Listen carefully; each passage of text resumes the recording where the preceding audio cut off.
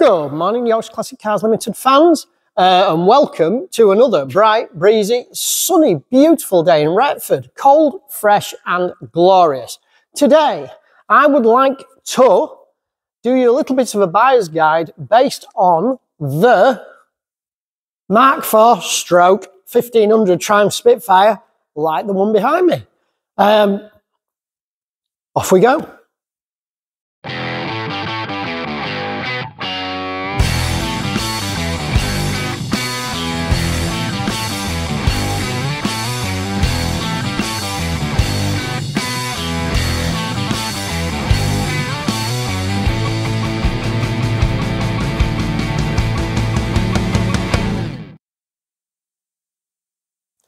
Uh, the Mark IV Triumph Spitfire. this one was dropped off on Saturday. Um, I know the car. This is a very late Spitfire.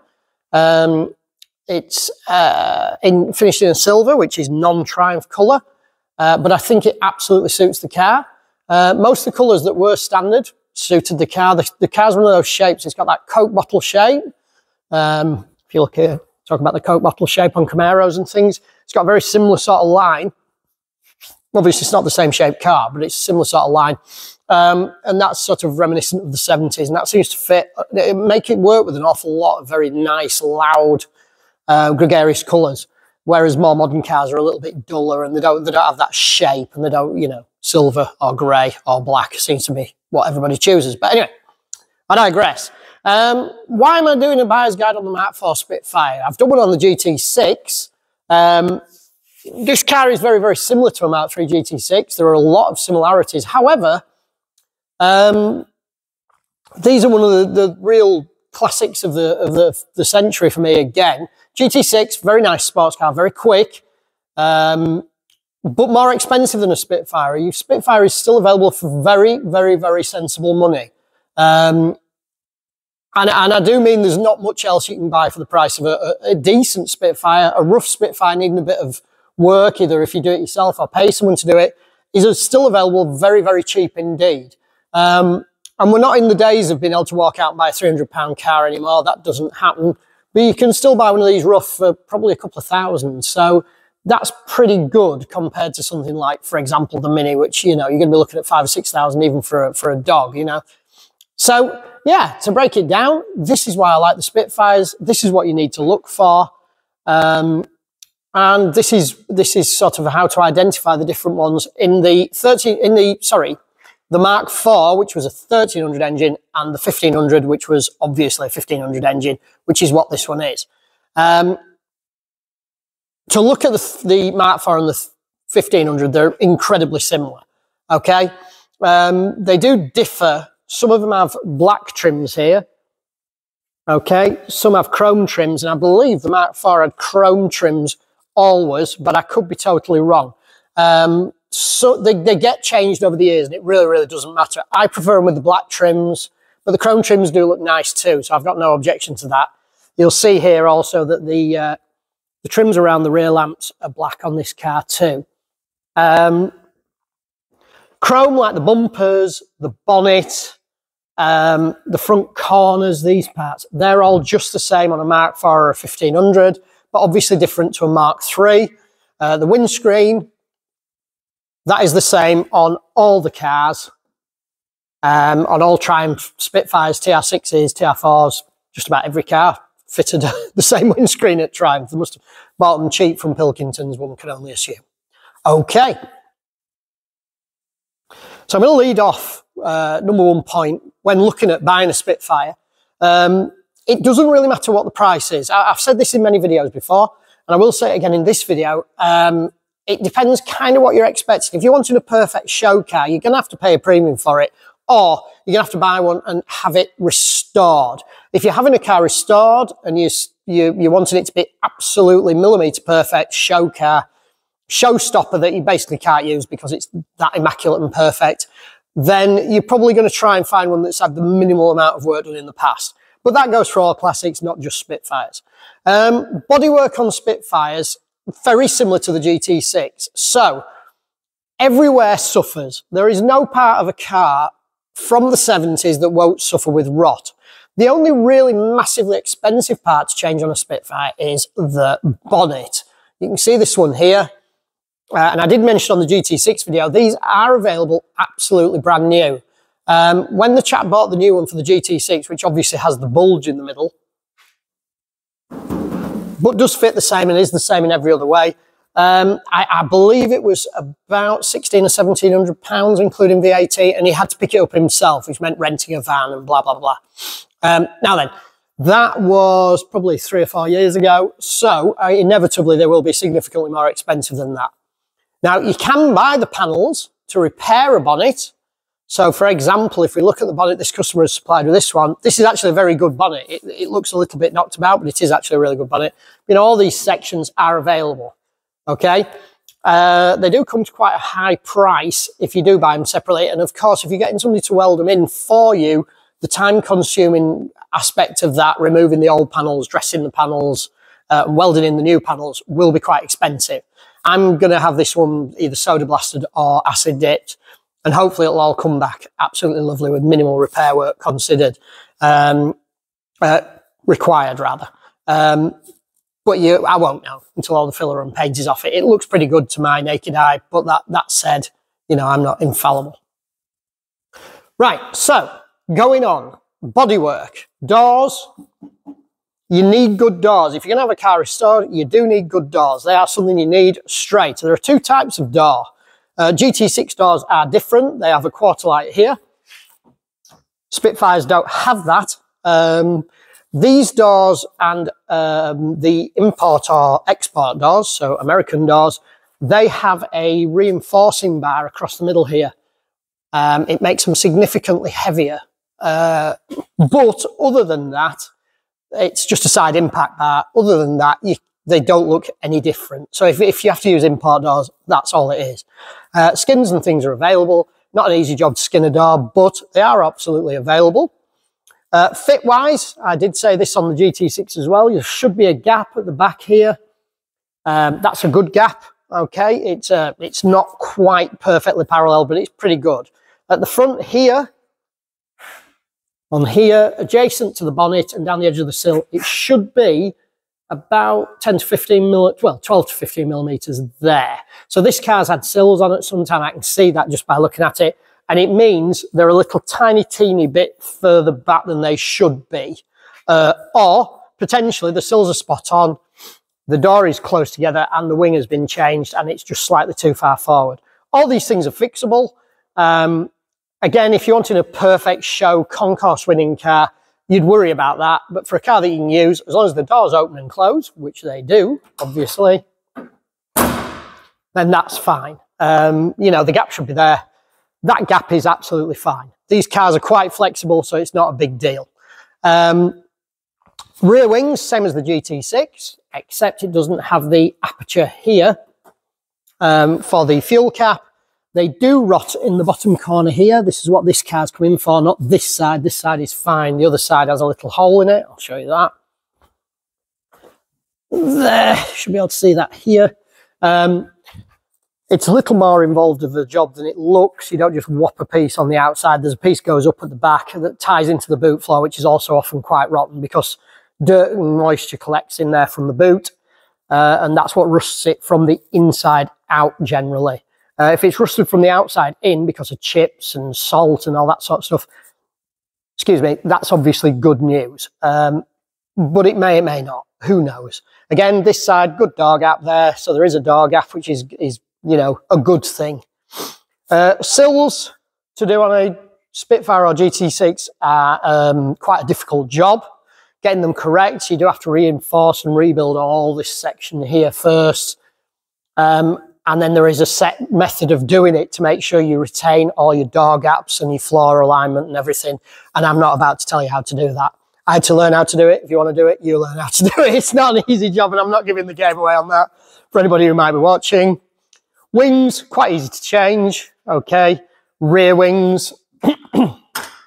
if I open this door here, there should be a seam here. They're usually filled over, but I wouldn't worry about that too much if they are. And then this seam here is where the wing attaches here.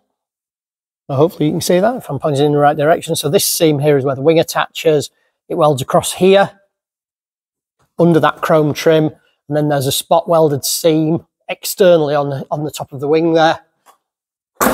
It's quite easy, um, and then that continues down the rear of the car, and again, there's a spot welded seam. This is all part of that wing and the bumpered bolts through it.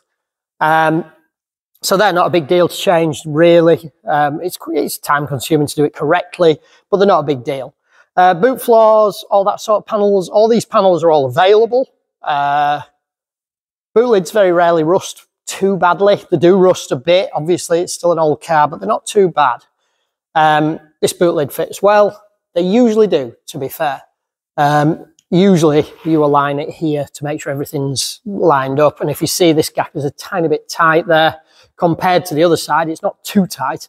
So you could actually move that boot lid back a little bit if you wanted, but I don't think the customer is that bothered. Um, the roof, good roof. Obviously this is a mohair roof. Uh, vinyl roofs actually fit better. Mohair roofs look better, but they do move a little bit like a stag roof. They do tend to grow and move a little bit, and they are like a bit of a living thing.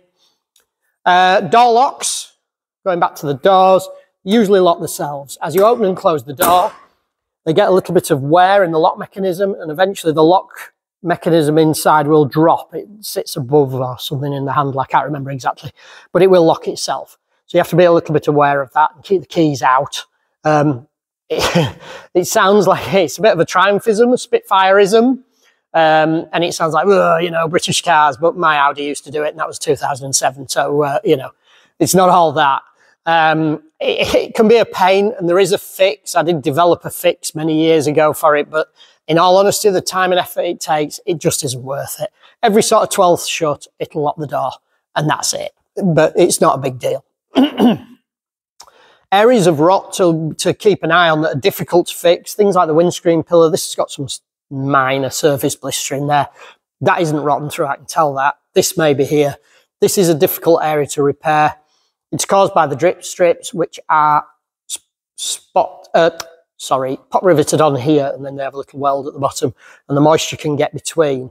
Um, it's important if you replace those to seal that gap as best you can uh, with something like a tiger seal, um, and that will stop that happening again. And then seal your windscreen if you fit your windscreen in. Uh, chrome trims on the windscreen, best not talked about. You don't even want to imagine trying to fit one of them. Get a professional windscreen fitter to do it. Course, after about five days, you'll be crying into your, into your porridge. Okie dokie. Uh, another rust area, bulkhead tops. Um, you can see on this car, this is a late car, so it has the dual line master cylinder. There's only the very, very last of these that had them. That's a, a massive, massive step forward on the brakes. This area here rots quite profusely. As you can see, this has been painted with anti-stone chip or something. Good idea, really, because when you top these up or a little bit of brake fluid comes out, it cleans all the paint off and then it goes red rusty under and it rots it away. This panel is available separately, but it is quite a big job to unpick all this and put it in. Um, but you can get it and it fits really nicely. Similarly, the, um, excuse the Rimmers catalogue, uh, similarly, the battery trays rot for the exact same reason. A little bit of acid comes out of the battery when it's charging. Sorry, phone just rang, so I had to stop off a sec. Sorry about that. Um, yeah, battery tray, same as on all cars, really. If the battery weeps a little tiny bit of acid, which kind of inevitably happens over time, um, it can rust out the bottom of the battery tray. But again, these are available. This, you can see here, it's spot welded in. And actually, if you're in a restoration, it's not a massive job to do at all. Um, if, you know, as jobs are concerned. Chassis, um, pretty much the same as every other Spitfire. Yes, they do suffer with little bits of rot. Um, these outriggers can go generally through damage, through hitting things and obviously the paint being chipped off. Um, and there's a, a, kick up under the rear differential. I'm not going to show you because it's obviously on the floor, but there's a kick up at the rear at the side of the diff where the drive shafts come through. And that tends to, I, assume, moisture collects inside that and it can rot it out. Um, but they don't go too bad. The other area that can get it a little bit is the front here. Okay, the bonnet boxes can rust away um, and these outriggers here. Again, all these sections are available um, separately, so you can buy those outriggers, uh, which are a, quite a com complicated uh, made piece. You could make them yourself, but it, it's a little unnecessary for what they cost. Uh, and the front beam is all available, and the bonnet boxes are all available. Um, quite a big job to fit the bonnet boxes. If you're restoring the car and the, the tub is off, then obviously that's a good time to look at it. And if they need doing, do them then. It's not a massive job, but you do need to make sure they are exactly in the right place. Uh, I have methods for that. Um, same with the outriggers. You can buy the outriggers as well, but you need to make sure they go back because the body locates to those. Um, and they need to be correct for everything to line back up. But overall, if so, if I take this car as an example, um, rust and rot wise, it has some tiny little bits of rust on it. But to be honest, for a car that I do know gets quite a lot of use, it's very minimal. It's not a rot box in any way, shape or form. Um, and most of them aren't. Obviously, floors are available floor panels. Um, if you're doing the sills, that's when to do the floors, obviously, and those um, cross members and all that sort of stuff. That's all available. The transmission tunnel in there, they don't rust. They're actually made out of like a hardboard, cardboard affair, and you can put a fiberglass replacement in. Um, it, it's not a job I'd wish on me worst enemy, but it is, you know, it's not as big a deal as that, as it all sounds. So coming back around this side and looking at the convertible roof, I can hear you all screaming down the phone at me. So, well, you've done a GT6 guide. Why would anybody want one of these over a GT6? Yeah, it's only a little 1.5 engine, 1500, or a 1300 if you've got an that far. Um, but basically, it's the same car, but with a cloth, cloth roof. Well, what I tend to find is taller people have these. There are a couple of downsides with the GT6. I adore GT6s, so this isn't certainly derogatory towards GT6s. Um, but they do get hot inside. The engine heat and the, the transmission heat builds up inside and they get warm. Now with a soft top, of course, you can take that down. Now this soft top isn't like a Stag, it's like a TR6 one. So to put it down is a five minute job. Not gonna do it. To put it back up again, five minute job, dead easy. So if it starts to spit with rain, boom, back up. I'm talking, of course, for us in the UK. If you're in the States or Australia, then obviously you'll need the roof to stop sunburning probably. Um, more than uh, more than rain, I would imagine. But it is quite an easy easy job either way. There are two handles up at the top there. I can just direct you to those. To lock the roof, you see them above the sun visors there. And then it's a series of press studs around the edge. Um, these do come off. Uh, there are ways of making that better usually because the hood shrunk a little bit through lack of use or being dried out. As I say, vinyl ones tend to do it less. But what I do is I put the roof halfway up before I latch it here. I make sure all these press studs are in and then that tensions it all and it stretches it back out. So that isn't a bad thing. Um, it is if you need to replace them, but again, there are kits available to do it and it's not a big deal. Um, things to look at on the roofs. Obviously, you don't want splits and rips. Um, these aren't ludicrously expensive like a stag roof. Uh, also have a check that the windows uh, are still clear. If they have gone yellowed, you can clean them with um, cutting compound like you can with headlamps when they go yellow too. Uh, if your windows are all absolutely glazed over, that's worth a try because there's no other way of saving them. So you may as well give it a go. Uh, I've done that for a car. I did it on a TR6. Uh, the owner sent me a second-hand roof to fit. Um, and all I did was give them a good cutting compound inside now. And actually, it brought them up really, really well. Not like brand new, but pretty close. So bringing you on to the inside of a Spitfire. And as I was actually, as I was, excuse me, broke off earlier, um, usually a lot of the customers are taller people. Um, and I did sort of, I did a weekly update when this car came in and, and I did sort of half mention it and then forgot. It's always quite funny seeing somebody sort of six foot six plus, um, getting out of a little tiny sports car like this. And I know, do know a chap who can sit in his Spitfire and put his hand flat on the floor outside. Um, but of course, you've got headroom in a Spitfire. You can put the roof down and you can get your head out of there. And the door apertures allow people with longer legs to get in and out. Um, this one obviously has an aftermarket steering wheel. The steering wheels are standard are quite large. The later ones like these weren't. I do have a later steering wheel over here I can show you. And the picture of my Capri, that is a standard steering wheel, similar sort of size. Um, and they do help. The earlier cars obviously had much larger steering wheels and they were a little bit awkward to get in. If you were, uh, you know, not super skinny or super tall, they're just awkward. And your legs would get in, you know, I'm, I'm only five foot eight and I used to get my legs intertwined with the steering wheel. And uh, so I don't consider myself tall at all. Uh, dashboard wise, uh, obviously a wood veneered dashboard. Uh, good quality usually, nice. It's always aesthetically pleasing and sort of circa the time. Good Smiths gauges. I, I hear people moaning about Smiths gauges. Remember Clarkson moaning about them in a video. I've always found them really good. They're always really reliable, really accurate. Sometimes they go wrong, but you know, nothing's perfect. Um, the tachs always work. The speedos always work pretty accurately. Temperature and fuel, different layout to a GT6.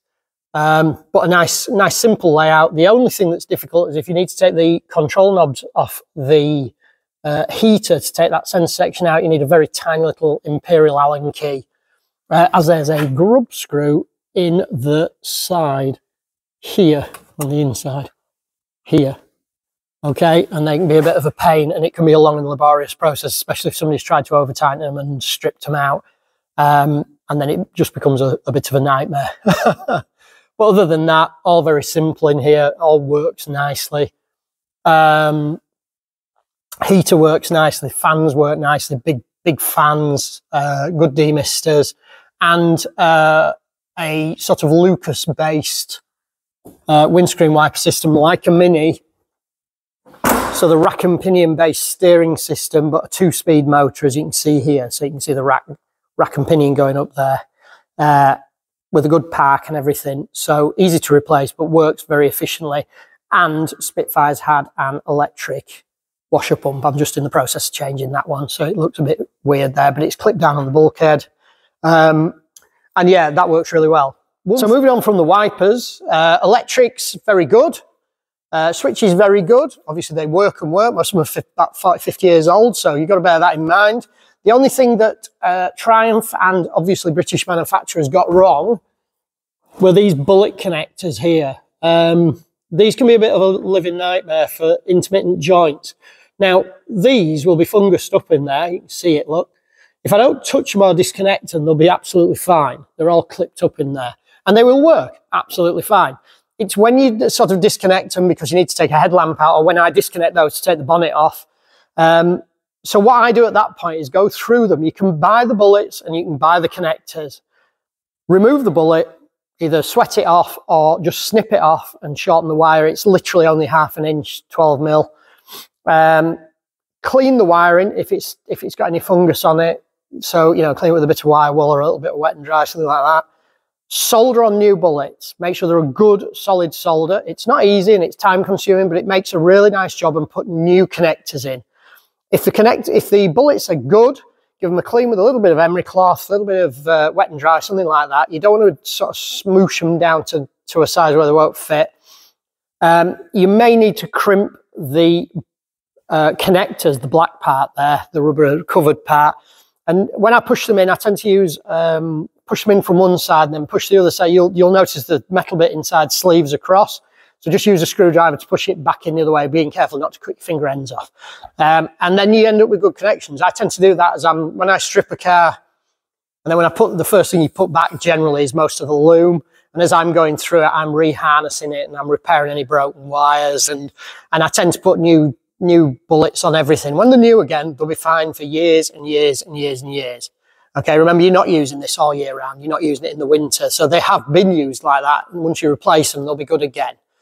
Um, so that's the only sort of downside of the electrics. Headlamps, uh, seal beam 7 inch, same as a Mini. Uh, put halogens in. Uh, that's my recommendation, especially if you're my age and your eyes probably weren't as sharp as they were when you were 20. But that does make a massive difference. Um, a halogen upgrade is a, is a really good thing. I did a video on a TR6 doing that. It's one out, one in. Uh, the only downside is you do have to unbolt on a Spitfire this aluminium section here, which has some quarter UNF set screws in here and they can be a bit of pain to get out sometimes. But once you've done it, you've done it. It's in and forgotten. And they, those take the later type bulbs, which I, I appreciate are modern now. I've fitted LED conversions to them, not overly keen. I think they're very bright, but for driving, I don't find that they're a, a real advantage.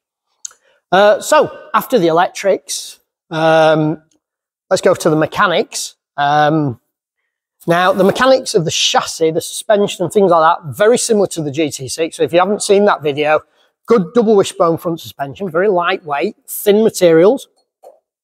Okay, ball joints that bolt in, easy to replace and cheap with a trunnion at the bottom. Now, people seem to get a bit upset about trunnions. they're fine. They're easy to change. They're fine. Um, just make sure you lubricate them with a good thick gear oil, not grease, and they will be absolutely fine. Um, I, I favour Super Pro bushings because I've used a lot of poly bushings and Super Pro are most close to uh, rubber without being too hard and they last a lot longer and they're resilient to, uh, to oils and damage and stuff. I'll draw your attention to the brake pipes on this car here. That brake pipe is wrong and you have to be very careful with that brake pad. Now this one obviously isn't doing it and that's fine. Uh, he hasn't asked me to change it and that's absolutely fine.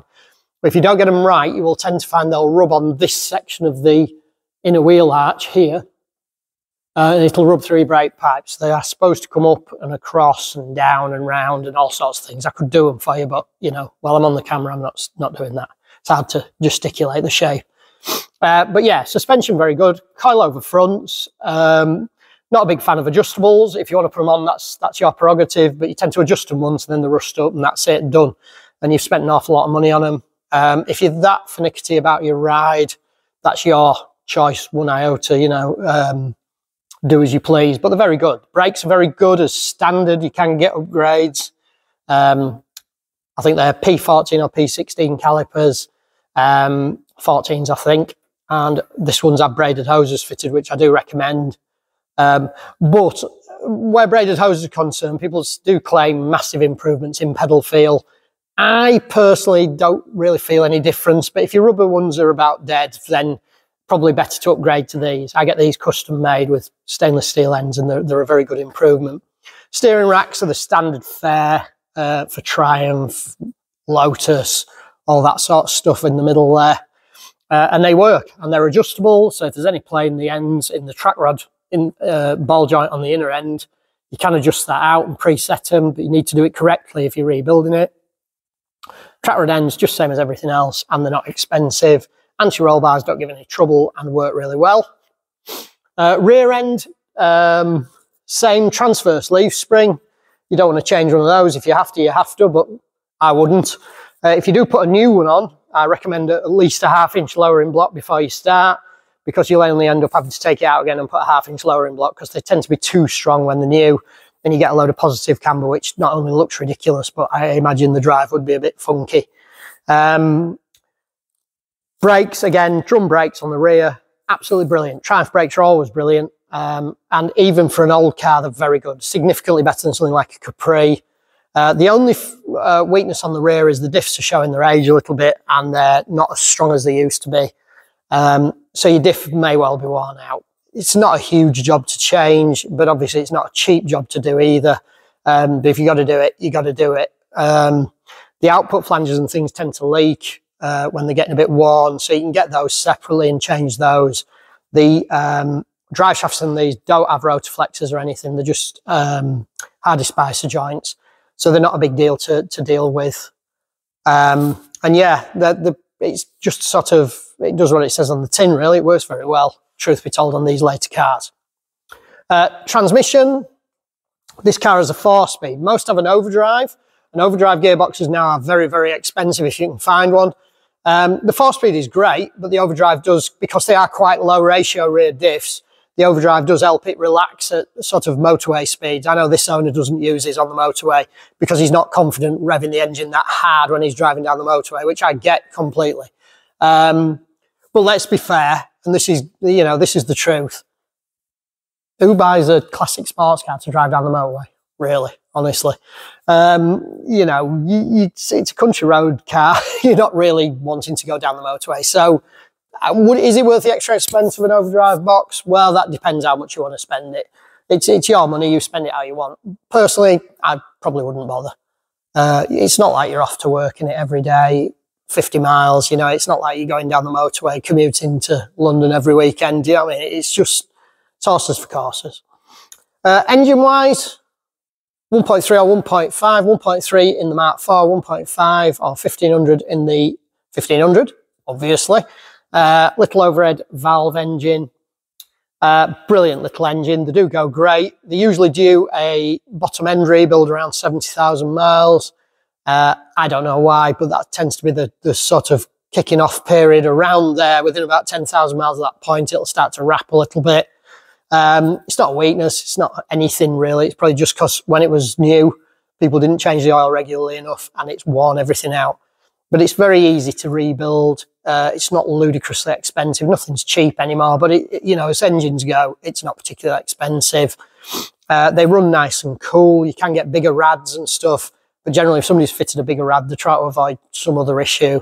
They don't blow head gaskets. Uh, they have SU carbs, which are fantastic little carburetors and my favourite carb in the whole wide world. There's only two moving parts in there. Uh, and unless they're absolutely worn out, you check that by lift in the butterfly, which there is not, uh, you'll be absolutely fine with those. Um, they are brill. And they just keep going and going and going. Uh, easy to set up. Make sure there's oil in dash pots. Um, I did a video on balancing these and you can, you know, you can do that yourself. Ignition, little Lucas distributor. Uh, this one will have had electronic ignition put in. I can see that here. There are various electronic ignitions available. You can get things like AccuSparks, which I'm not a big fan of. Um, but sometimes they work, sometimes they don't. Uh, and that's the downside for me as a business because I don't want to fit something that's going to fail. This is something like that, an AccuSpark or a Power Spark. I will say if you fit one of those, please check your ignition timing afterwards because it swings it quite heavily. Um, standard sort of Lucas rotor arm. The points are fine, but they're just getting difficult to find now. Um, but they do work fine and they're absolutely fine. Unless you're doing 20,000 miles a year, they always work fine. Um, so yeah, there's nothing really major there to worry about. Standard Lucas alternators. This one isn't charging very well, but of course the belt's a little bit loose and that's probably all it is. Uh, I'll tension that first and then recheck it. That's probably all it is. Uh, if you do fit an electronic ignition, I recommend Lumenition. Uh, they're quite simple. They work effectively. They're not cheap, but you only do it once. Um, in my experience, you can get it wrong, but it's it's pretty difficult. Um, so yeah, if you're going to put an aftermarket one in, put put something good quality. I've used one, two, three distributors. People seem to like those and favour those, and they are you know, everybody seems to think they're the, the bomb diggity at the minute. Um, I, am always convinced the advance curve is correct. And although they're adjustable, it doesn't really give you any idea of which advance curve is which. So you, seems like you're sort of stabbing in the dark a little bit to me. And it's, again, it's kind of unnecessary. You only need one. But because they're made to fit a range of different cars that will take that distributor, like a Ford Crossflow, for example, they tend to be a little bit variable. And I, I'm a big fan of that, really, if I'm honest. Um, if unless your distributor's worn out, and I've never seen one worn out, that's that's God's honest, then just put an electronic kit in and that'll fix all your ills. So, quick caveat at the end here, uh, quick quick sort of add-on. Um, modifications on Spitfires. Uh, again, a bit like the Minis, you'll tend to find most Spitfires have had some mods done in some time. The standard wheels are a very narrow pressed steel affair with a plastic trim in the middle. Mark IV's 1500s all had those. Uh, none of them came with alloy wheels as standard. Alloy wheels are a little bit like, I don't know really, it's just everybody's own choice. This one's got Minilites on and I really, really like them. I think they suit that car. I think they suit the colour and everything. On some cars they do, on some cars they don't. You have to be very careful you get the right wheel. Uh, the offsets on the front matter. They will catch the wing if you're running a little bit lower or anything. Uh, and there'll be a complete pain unless you want to go to low profile tyres, which will then affect your ride and your handling. Um, but wheels, you know, they're a, they're a 4 by 98 stud pattern, same as a Mini. So there's just a bazillion amount of wheels out there. But they, it is quite expensive if you get it wrong. Um, but it's your choice at the end of the day. There's no correct wheel and tyre combination. It's just up to you entirely. Um, there are various different diffs, so do be careful if you buy a different differential, by the way. Herald and uh, early Triumph Spitfire diffs look the same, but the outdrives are different and they are interchangeable.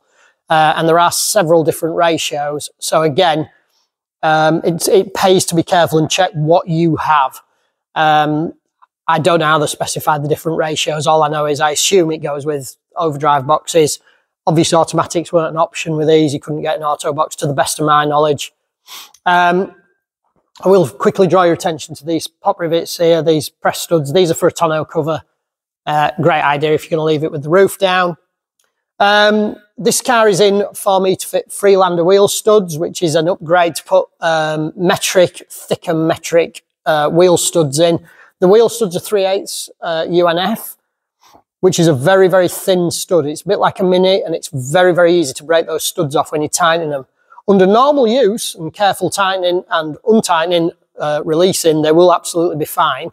Um, if you were dropping a V8 in there or something, you wouldn't have to worry about your wheel studs because you're going to break the diff before them. So, joking aside, they are usually fine. Um, but if you want to go up to a Freelander stud, they do fit very well. Uh, this one's got different door mirrors on, it's got bullet mirrors on. I think they look great, but again, it's horses for courses and what you choose. Um, exhausts, there are various exhaust systems available. Uh, this one has a single standard outlet exhaust over on the driver's side. You'll see stainless systems, twin systems, all sorts of systems. Um, some fit really well. Some look cool. Some make more noise than you can ever imagine. Depends how much you want to draw people's attention to you. Yeah, so modifications are kind of down to your own choice. Um, there isn't really many that I'd recommend that are necessary. The, the, the braided hoses, uh, are a good idea. The um, good quality brake pads, uh, alloy wheels and tyres, totally your choice. I like the Steelies as well. It doesn't make any difference in my book. Um, K&N filters and things like that, they won't make any extra power. Don't waste your time. They look kind of cool, but generally the catch on the bonnet here. So pretty unnecessary, really. Um, stainless exhausts, they do have a nasty habit of drawing attention to you. So if you're doing 30 mile an hour in a 30 zone going, Wah! then it doesn't always draw your positive attention.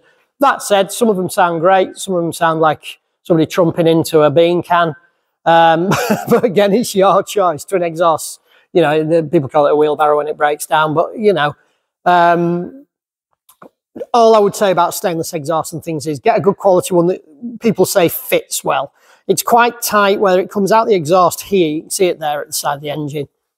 There where the downpipes come down, it gets quite tight down there, down the side of the chassis where it fits up into the chassis. If it's a poor fit, it's going to either rattle on the chassis or you're going to have to have it altered. Um, having altered cheaply uh, sourced exhausts that people have sourced themselves and go, oh, I got this off eBay, it was really cheap. And yeah, there's a reason it's really cheap. Now it's costing an extra 500 quid for me to cut it up over the last three or four days, you know because um, it's got to fit. It can't just sit and rattle and break all the mountains and stuff. So that's always a good thing to look at. Um, things like smaller steering wheels, that's personal taste. Again, um, you know, it, it, there's no me saying this is what you need. Um, so yeah, I mean, it, it's pretty much horses for courses really where modifications are concerned in my, for what it's worth, humble opinion. Things like oil coolers and that, not really necessary. Bigger aluminium radiators, not really necessary. Ali rocker covers, not really necessary. They'll quieten the tapping noise a bit. But to be honest, if you adjust your tappets and they're still making a noise, they're worn out. So, you know. Um, but yeah, I mean, there is things you can buy. There's things you can use to personalise your car, but none of them are really anything I'd consider necessary. Uh, lowering them a little bit can make them look nice, but of course then you run into things like clashing with your with your bonnet, with your wheels. So again, not necessary really. When you look at a GT6, the 2 litre engine is a bit more highly stressed and trapped in this body. Um, and therefore it gets hotter and you need a little extra cooling and things like that. Uh, and the interior can get hot and therefore it's better to have a sunroof and things like that. But on a Spitfire, there's really not much. Um, they do handle well. If you put a Vitesse or a GT6 engine in, they go like a stabbed rat. They really do go really well. Um, there are various brake upgrades if you're going higher powered. Uh, I do know somebody, a customer of mine, who has a Dolomite Sprint engine in his, which is not an easy job to fit. Um, I have a friend with a Zetec engine in one. Whether he's ever finished it or not, I don't know.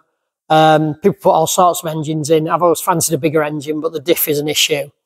If you're going to go for a bigger engine and you want to upgrade the diff, uh, I know the chap with the Sprint engine has a Subaru diff on the back. Um, and it's a quite a simple kit that fits that in, actually. Um, now, I used to have an Impreza. Um, when it wasn't broken, it went really well, and the diff never grumbled at all. But that said, I didn't own it for years and years and years. So how strong they actually are, I have no idea. But it is a long, thin differential, and it fits in the in the aperture quite nicely. But of course, then you'll need a different prop shaft. You'll need potentially drive shaft adapters and things like that. So you know, it's it's it's a bit of an exponential spending curve. But on the overall, great car. So yeah, uh, Spitfires. Mark IVs, 1300s, uh, 1500s, 1500s. Brilliant car. Um, fit everybody. Short, tall, thin, fat. You, you can get in one. Middle-aged, young, old, whichever. You can always fit in a Spitfire. They're affordable to buy, they're affordable to restore, and they're affordable to maintain, which is a big thing, I think. Um, absolutely usable. And the fact is, because they're a little bit cheaper to buy, you're not scared of using it. You haven't got £50,000 in it, and therefore you dare take it to a show, you dare take it out on a weekend, you dare use it when it blooming rains. Uh, this owner never uses his car in the rain, ever, and it rained when he dropped it off and he was gutted. Um, that's his prerogative at the end of the day. But if you're buying a car that's a little bit cheaper, at least you're not worrying about it ever getting a speck of rust or a bit of mark on it. Just my humble opinion. But yeah, overall, really good buy. Great driving car. Um, so low to, low to the floor. It feels like you're doing 150 mile an hour when you're doing 40. So yeah, can't, uh, can't recommend one enough. Just go out and buy one. Stop faffing about and get one.